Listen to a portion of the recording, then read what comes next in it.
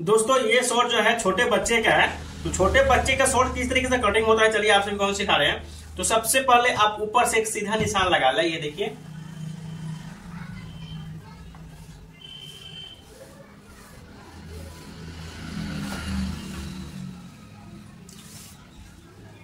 इसका लेंथ लंबाई है साढ़े उन्नीस इंच साढ़े उन्नीस ये रहा, आधा इंच ऊपर से सिलाता है।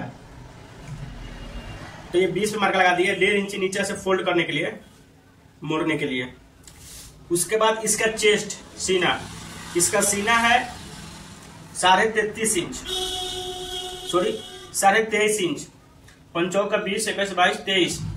पौने छह आया। पौने छह एक इंच तो छह इंच पे इस तरीके से मार्का लगा देते हैं बढ़ाकर। ये देखिए।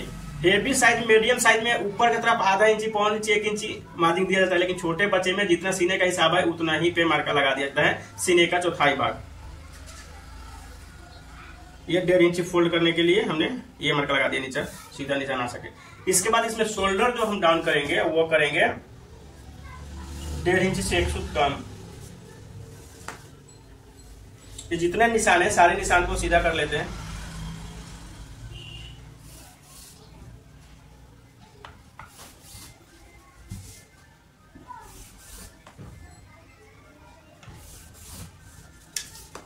इधर से, ये देखिए, किनारी पीस को छोड़ के इस तरीके से डेढ़ इंची पे हम मरका लगाकर सीधा निशान लगा लेंगे।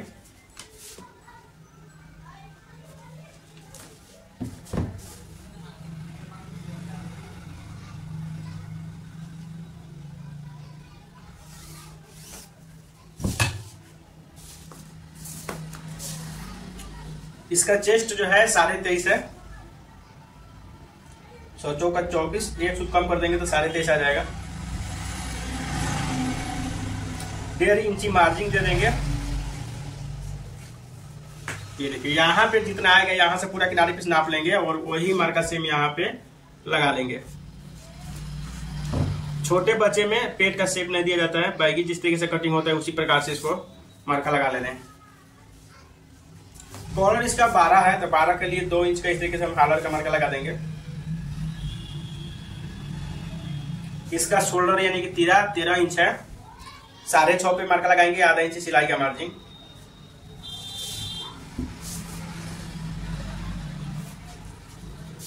आधा इंच अंदर के साइड एक मार्का लगाकर।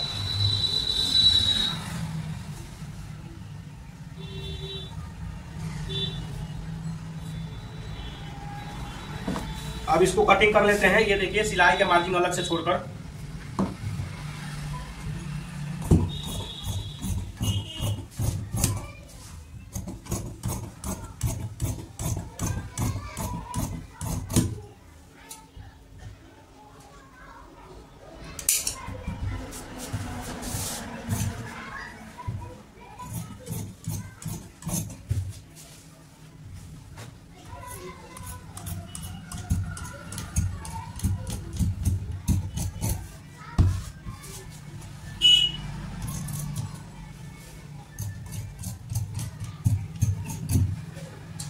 मेरा फ्रंट पल्ला कटिंग हो चुका है।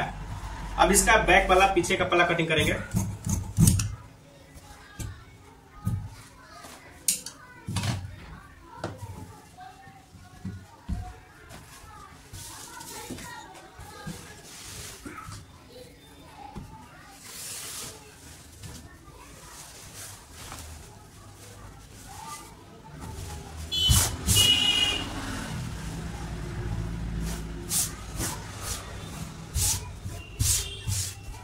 सीने का चौथाई भाग फोल्ड कर लेते हैं।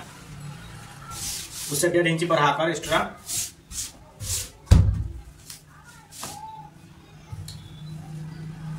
ये किनारे भी छोड़कर इंची टेप को रखेंगे। और 24 से छो का चौबीस, साढ़े तेईस तो चौबीस कमर का लगा लिए। डेढ़ इंची एक्स्ट्रा इस तरीके से जो लूजिंग दिए हैं, वो लगा लिए। साढ़े सात आया तो साढ़े सात इस तरीके से फोल्ड कर सकते हो या आधा इंची बढ़ाकर फोल्ड करेंगे, ताकि कपड़ा मेरा घटे ना।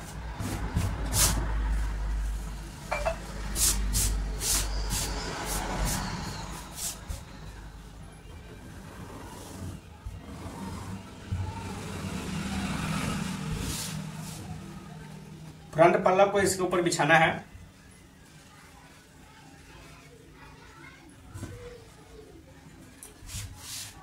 ऊपर से जो मार्का है, मार्का को सीधा इस तरीके से रखना है। इतना निकाल कर ये देखिए। जो डाउन किए हैं, उसको ऊपर निकाल देंगे। और इधर से आधा इंची, ये देखिए आधा इंची एक्स्ट्रा इधर बढ़ा के रखे हैं। ये देखिए, कुट कर ऊपर से आधा इंची, ठीक है? अब ये जो आधा इंची इधर निकाले हैं, ये देखिए, यही आधा इंची यहाँ पे मार्का लगा लेना है। यहाँ से इस तरीके से आधा इंच बढ़ाकर ये मार्का लगा लेना है। इसको यहाँ से मिला देना है। ये मेरा बैक पला का मार्का कंप्लीट हो गया।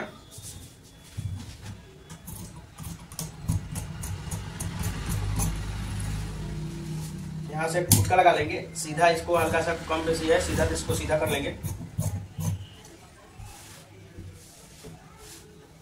नीचे से बराबर कटिंग करेंगे। इधर से जितना कपड़ा है, उतना कटिंग करेंगे सेम बराबर।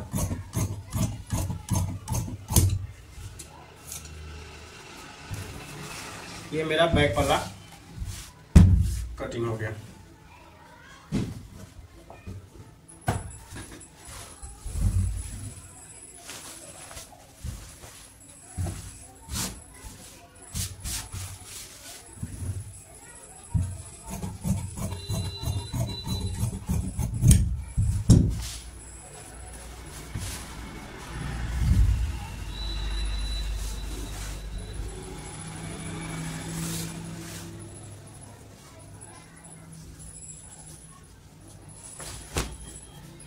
अब इसका बाही कटिंग करेंगे।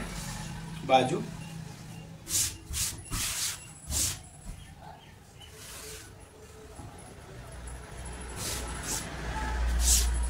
ये देखिए, चार फोल्ड में है। दो फोल्ड ये दो फोल्ड चार फोल्ड सीने का चौथाई भाग फोल्ड करते हैं। चौबीस, ये सात इंच एक्स्ट्रा है। सीनियर से चौथाई भाग से आधा इंच एक्स्ट्रा रखना है। क्योंकि इसमें हम माइनस नहीं किए ना, साढ़े चौदह ठीक है?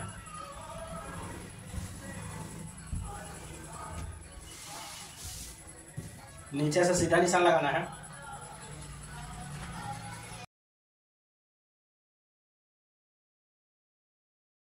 यहाँ से आधा इंची निकाल देना है, ये देखिए आधा इंच हम इंच निकाल दिए। इसके बाद बाजू का जितना लंबाई, बाजू का लंबाई उन्नीस इंच है तो ये देखिए उन्नीस इंच पे इस तरीके से एक मार्का लगा लेंगे। सीधा निशान लगा लेंगे। छोटे बच्चे में बाजू जो है दो इंची डाउन करते हैं।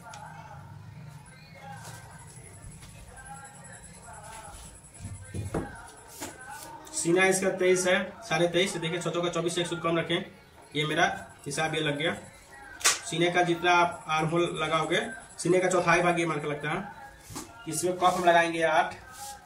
आठ के लिए चार इंची हुआ, आधा इंची हम यहाँ पे टेकिंग देंगे तो साढ़े चार पे मार्का लगा दिए इसमें हल्का से फ्रंट से, ये देखिए, बिल्कुल हल्का से फ्रंट से ये मार्क लगाएँगे।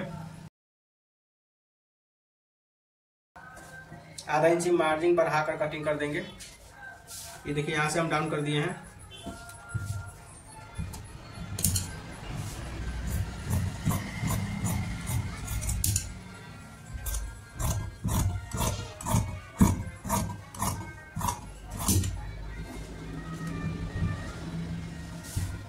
नीचे से बराबर करके कटिंग कर देंगे।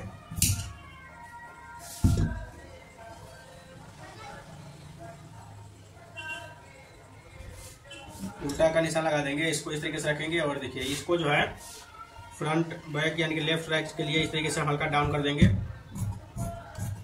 तो आगे कपड़ा जमने लगेगा, ये देखिए।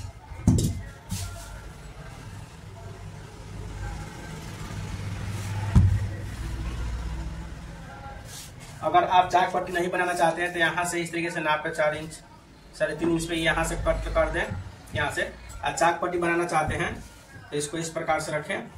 और यहाँ से देखिए तिहाई इस तरीके से फोल्ड कर दे, सिलाई का मार्जिन निकाल दे। इधर से ज़्यादा निकलता है, इधर से बराबर करोगे ना देखिए, इधर से बराबर करोगे, इधर से आधा इंच निकालोगे तो इधर जितना निकलना रहेगा, निकल जाएगा। और इस तरीके से हल्का निशान लगा कर डॉट डॉट चकमिट्टी का निशान लगा लो। सियाने आदमी मीडियम मीडियम साइज़ में सियाने में साढ़े पाँच इंच कट लगाते हैं, छोटे बच्चे में साढ़े चार इंच का कट लगाते हैं। ये देखिए, ये कट हो गया फाइनल अब आप सभी के बीच रह गया, तीरा बाकी चलिए, तीरा को भी कटिंग करते हैं।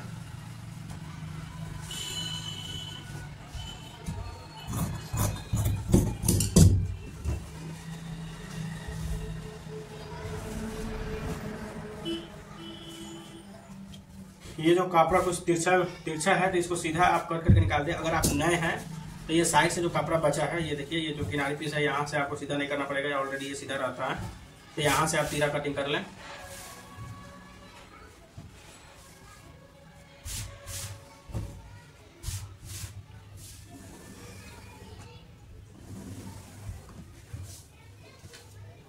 नीचे से सीधा निशान लगा लें डबल फोल्ड करके। तीरा इसका तेरह इंच है साढ़े छः इंच पे। ये मार्क लगा, सिलाई का मार्जिन आधा इंची में एक सूत कम इसके बाद ये देखिए जितना है, उतना जो है, इस तरीके से चार, साढ़े चार इंच पे ऊपर हाइट बढ़ाएँगे, एक सूत बढ़ा के ये मार्क लगा देंगे। मीडियम साइज़ में साढ़े पाँच इंची का हम रखते हैं तीरा हाइट खूब हेवी साइज़ होता है तो पौने छ ठीक है?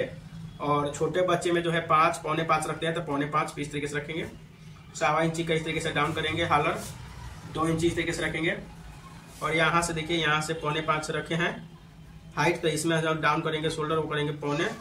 सॉरी सवा इंच एक इंच दो सूट और इसको इस तरीके से मार्का लगा देंगे। यहाँ से इस तरीके से ये मार्का लगा देंगे। ये जो हम डाउन किए हैं सवा इंच इसको यहाँ से लगा देंगे। और ये मार्का और ये मार्का को मिला देंगे। हल्का तिरसा रहता है, एक सूट डेढ़ सूट के छोटे बच्चे में। सियाने में दो सूट तिरसा रहता है। और यहाँ से इस तरीके से हम हालर को डाउन कर देंगे और कटिंग कर लेंगे।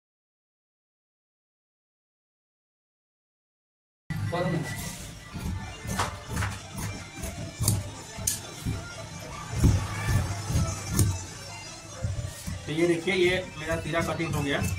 आप लोग कमेंट करके बताएँ कि वीडियो कैसा लगा। ऐसा लगा तो लाइक करें कमेंट करें और दूसरे के पास शेयर करें जो वीडियो लाइक सीखना चाहते हैं वीडियो को मतलब सिलाई सीखना चाहते हैं। चलिए मिलते हैं नेक्स्ट वीडियो में। जब तक आप लोग सब्सक्राइब करें